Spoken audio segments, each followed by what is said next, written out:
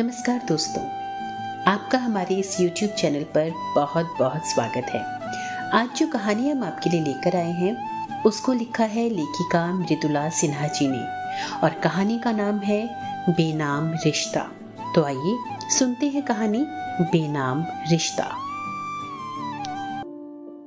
Chitra ji invitation card के साथ हाथ से लिखे मनुहार पत्र के हर अक्षर को अपनी नज़रों से आंकते उनमें अंतर्निहित भावों को सहलाने लगी।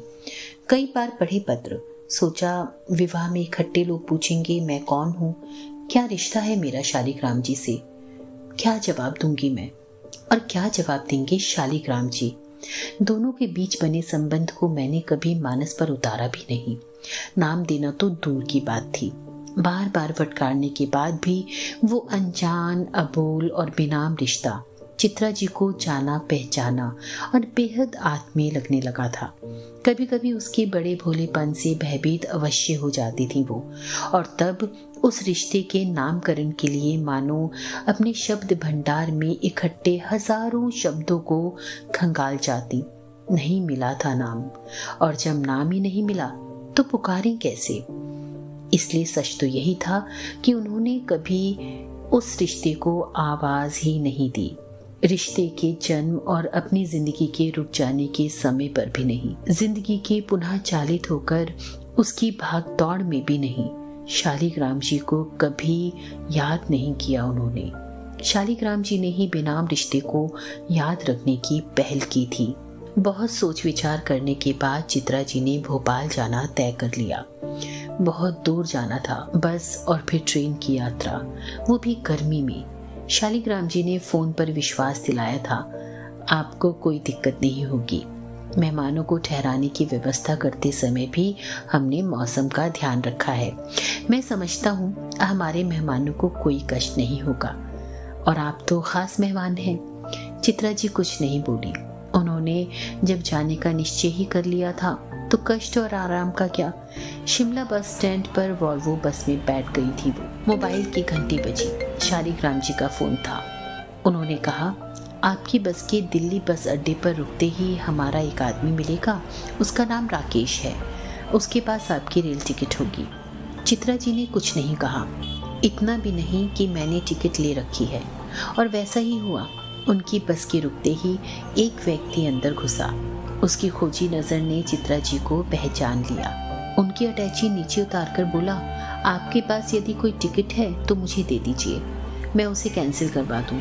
एसी सेकंड क्लास की ये टिकट रख लीजिए। ट्रेन शाम को निज़ामुद्दीन स्टेशन से जाती है। मैं आपको लेने आ जाऊँगा। मैं भी आपके साथ चल रहा हूँ। चित्रा जी ने उस व्यक्ति को स्लीपर क्लास की टिकट निकाल कर दे दी। वे थ्री व्हीलर में बैठकर गोल मार्केट स्थित अपनी एक सहेली के क्वार्टर में चली गई। शाम को सब कुछ वैसे ही घटा, जैसे राकेश ने बताया था। सुबह सुबह गाड़ी के भोपाल जंक्शन पर रुकते ही एक नौजवान उनकी सीट तक आ गया। उनके पैर छूकर बोला, मैं दीपक हूँ। मेरे पिता का नाम शालिग्राम कश्यप है। चित्रा जी ने खुश रहने का आशीर्वाद दिया और उसके पीछे चल पड़ी। गाड़ी आगे बढ़ रही थी। रोड पर भीड़ के कारण कभी कभी उसका हॉर्न बजता।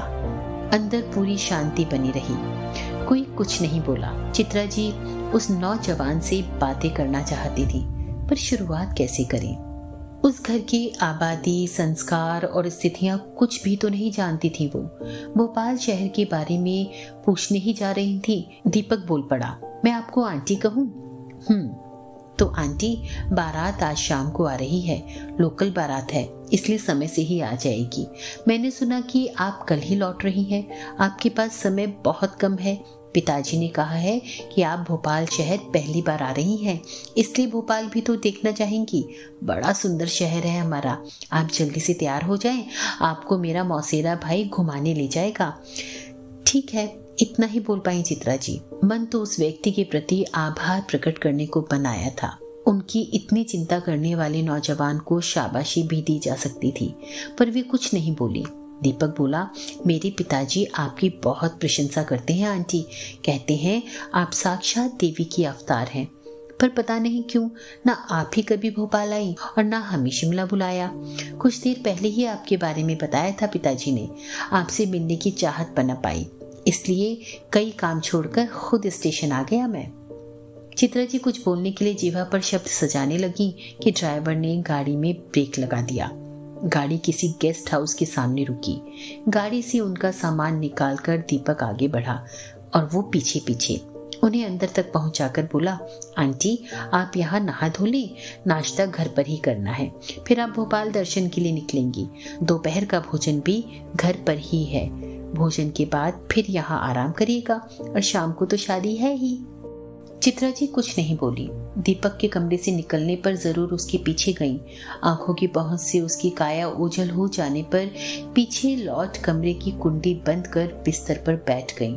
सोचने लगी, दीपक कितना लायक लड़का है। 19-20 वर्ष का होगा। इतना जिम्मेदार और पितृभक्त। समाज नाहक ही परेशान है। कि युवा पीढ़ी बिगड़ गई है।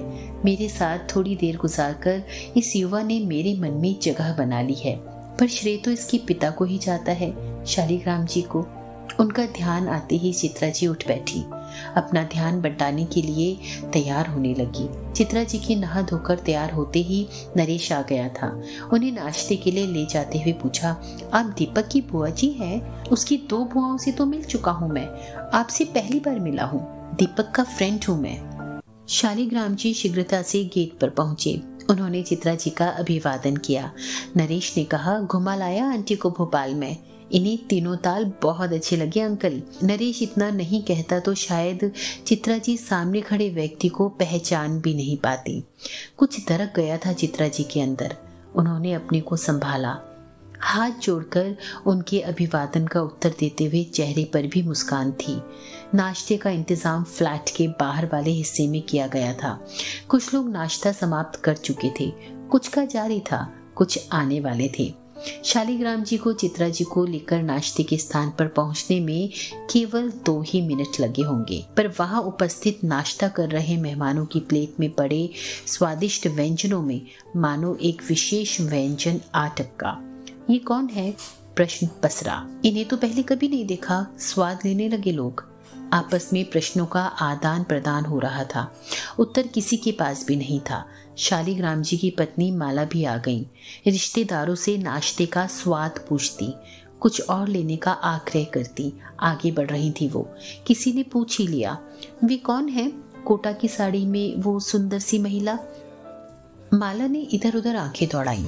दूसरी ने स्वर दाब कर ही कहा, वही जो शालीग्राम जी के साथ हैं, उन्हें शालिग्राम जी ने खुद अपने हाथों से प्लेट लगा कर दी है।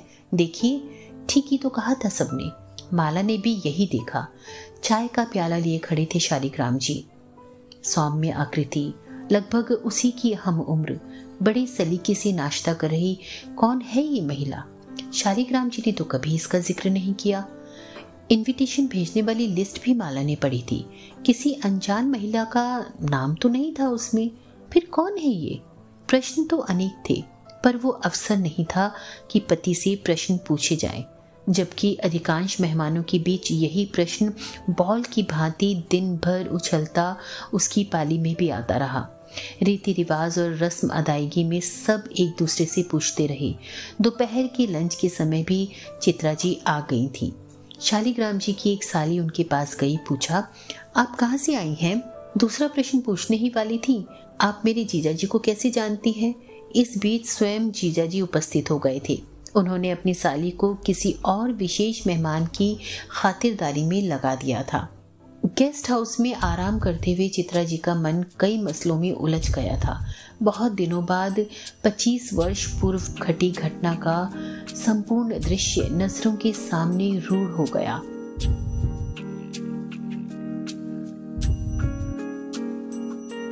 कितनी बातें याद आती है, तस्वीरें सी बन जाती है। मैं कैसे इन्हें भूलूं? दिल को समझाऊं।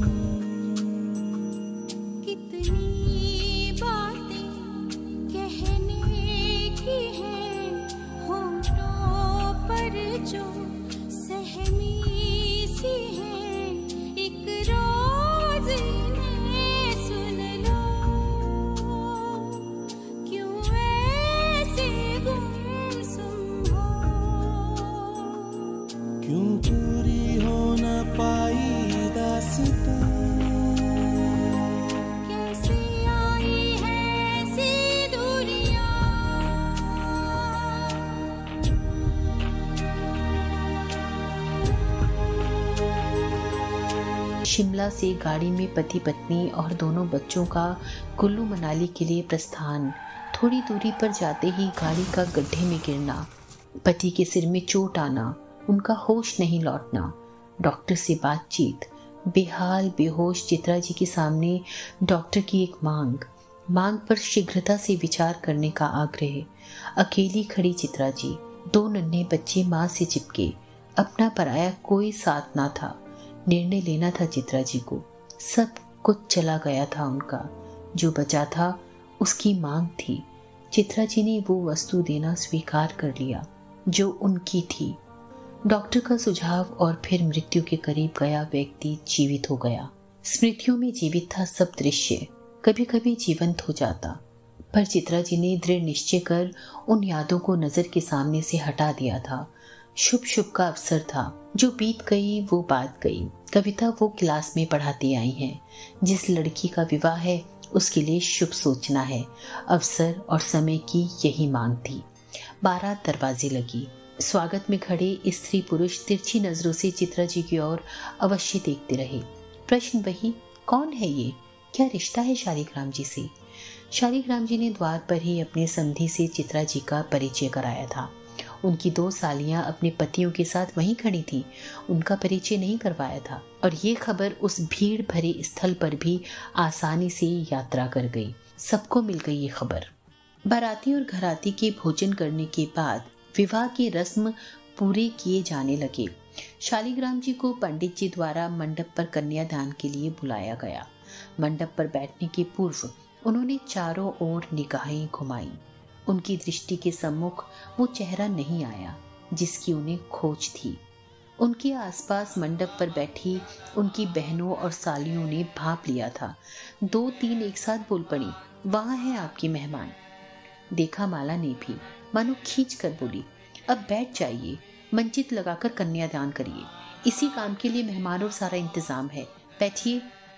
शालिग्राम जी ने ऊँची आवाज़ में कहा, चित्रा जी, आप इधर आइए। मंडप पर बैठिए। मेरी बेटी को आपका विशेष आशीर्वाद चाहिए। चित्रा जी अंदर से हिल गई और ऊपर से उपस्थित जनों की निगाहों के तीरों से बिंद गई। वो परेशान तो थी ही। अपने स्थान पर खड़ी होकर बोली, आप लोग शुभ कार्य के लिए वहाँ उपस्थित हुए हैं। बेटी का कन्यादान करिए। मुझे यहीं बैठना है। मैं विधवा हूँ। मेरा सुहाग नहीं है। समाज ऐसी महिला को किसी सौभाग्य आकांक्षणी को सुहाग देने की मनाही करता है। मैं दिल से आपकी बेटी का शुभ चाहती हूँ। इसलिए दूर बैठी हूँ। आप अपना पुनीत काम पूरा करें। मेरी चिंता छोड़ दे। वे बैठ गई। मैं नहीं मानता ऐसे समाज के विधान को। मेरे परिवार के लिए, मेरी बेटी के लिए आपसे बढ़कर कोई शुभ नहीं हो सकता। आपकी कृपा के बिना तो ना मैं होता और ना ही मेरी बेटी। आइए, आप मेरी प्रार्थना मानकर मेरी बेटी का कन्यादान करिए। फिर तो पंडित जी भी परेशान हो गए। बोले, शालिग्राम जी, आपकी मेहमान महिला ठीक कह रही है। आप कन्यादान करिए। अपनी पत्नी को साथ बिठाइए। मंडप पर बैठी सभी महिलाएँ सुहागन ही हैं। शालिग्राम जी बिफर पड़े। आप सब आज सुबह से चित्रा जी का परिचय जानने के लिए परेशान है ना? आपके बीच तरह तरह की अटकलें लग रही हैं। कार्य व्यवस्था में भी मैं आपके प्रश्नों के बाणों से बिंदता रहा। जब तक मैं उनका परिचय ना दे दूँ, आप सबों का ध्यान भी विवाह के रस्म रिवाजों पर केंद्रित नहीं होगा। तो सुनिए। और जो कुछ शालिग्राम जी ने सुनाया, सुनकर वहाँ बैठे उपस्थित लोगों के प्रश्न तो चुके ही। वे सब चित्रा जी के प्रति नतमस्तक हो गए। वे अवाक रह गए। पच्चीस वर्ष पूर्व एक दुर्घटना में चित्रा जी के पति घायल हो गए। उनके मस्तिष्क ने काम करना बंद कर दिया था। जिस हॉस्पिटल में उन्हें लाया गया, उसी के एक कमरे में मैं ऑपरेशन बेड पर लेटा था। मेरे दिल ने काम करना बंद कर दिया था। डॉक्टर्स ने निर्णय लिया था, किसी का धड़कता दिल मिलने पर हार्ट ट्रांसप्लांट हो सकता है। आँख, दान, किडनी दान जैसे अंग दान की बात तो सुनी गई थी। देह दान भी होने लगा था। पर हृदय दान तो तभी हो जब वो धड़कता हो और जब तक दिल धड़कता है, आदमी ज़िंदा है। भला जीवित का हृदय कोई क्यों दान करे? चित्रा जी के पति का दिल धड़क रहा था। मस्तिष्क ने कार्य करना बंद कर दिया था।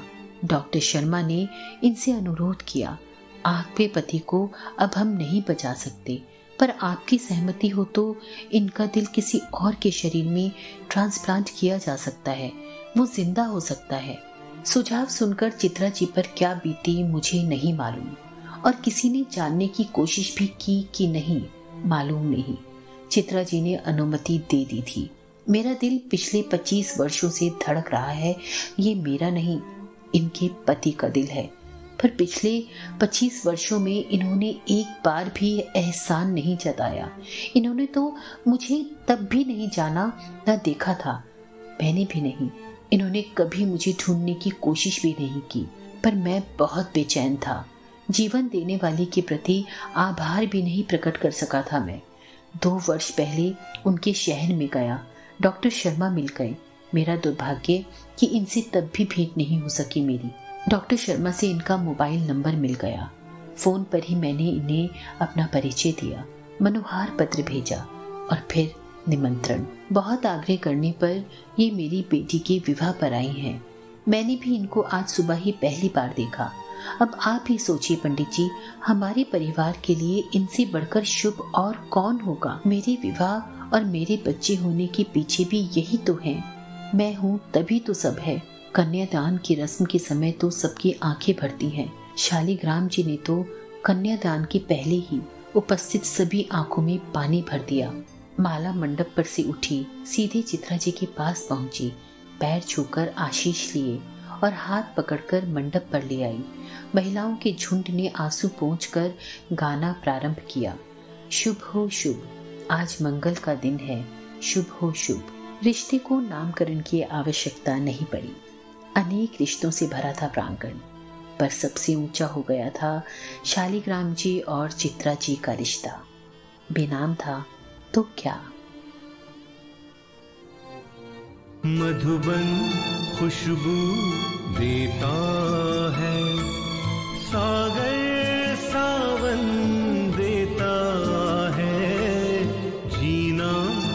उसका जीना